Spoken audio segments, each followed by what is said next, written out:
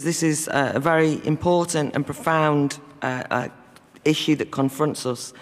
And at least for that small part of the speech that David Cameron emphasised, that this is the struggle of our generation, I had some sympathy with him. Then practically everything else he said I disagreed with. But at least I thought it was a recognition of how important it was.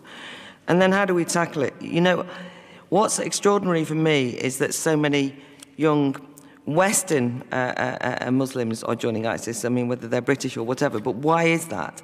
Um, and I think it's it, when you kind of identify it, and I don't think there's any simple answers to it, you find a kind of toxic mix of identity politics and kind of youth, uh, a kind of nihilistic alienation Um, but I, I, I, what my fear is that we kind of see them as kind of these young people as victims, whereas I think that's far too easy. We talk about grooming.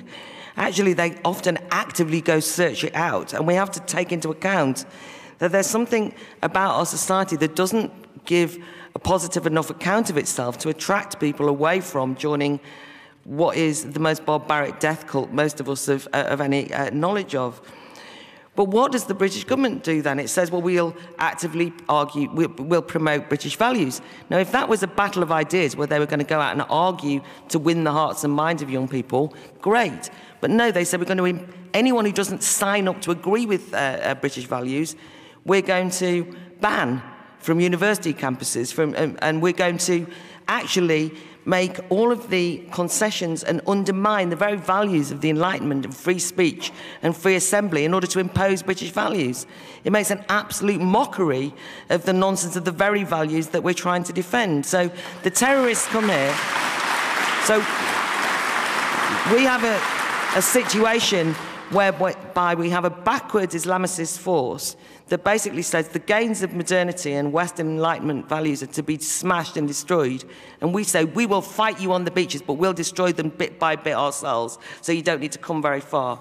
That is the, we are frightened and terrorized, and that's not inspiring to any young British people, and it's certainly not got very much to do with values. So, very big question. One, one plea I would make is that we don't get crass about it, that that we realise that this is hard work, that I've organised a number of debates on this very issue of why young people are joining ISIS, and I don't pretend I've got the answer.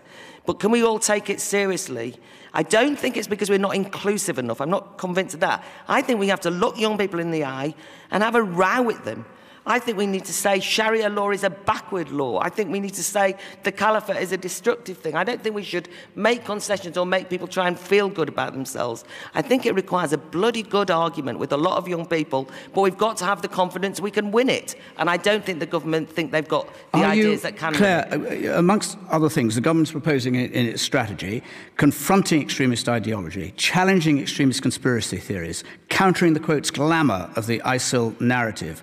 Um, tackling extremism in schools, refusing to turn a blind eye to abuses like FGM uh, and forced but it, marriages. But it says it, it, we will lock people up that, that, that, that um, uh, espouse the wrong ideas. There's a whole trail of things that amount to the policing of thought.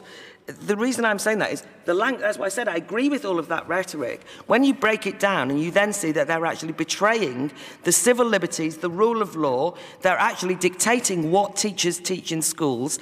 When they say we want to prevent extremism getting out in schools, it's so ironic because you look at what's happened is the kind of schools that are being done over are Catholic schools because, for example, of their views on homosexuality, and they're kind of being told, well, you're not standing up to British values because apparently a British value now is a positive acceptance of what the government has told you it is. That is actually not a enlightenment value.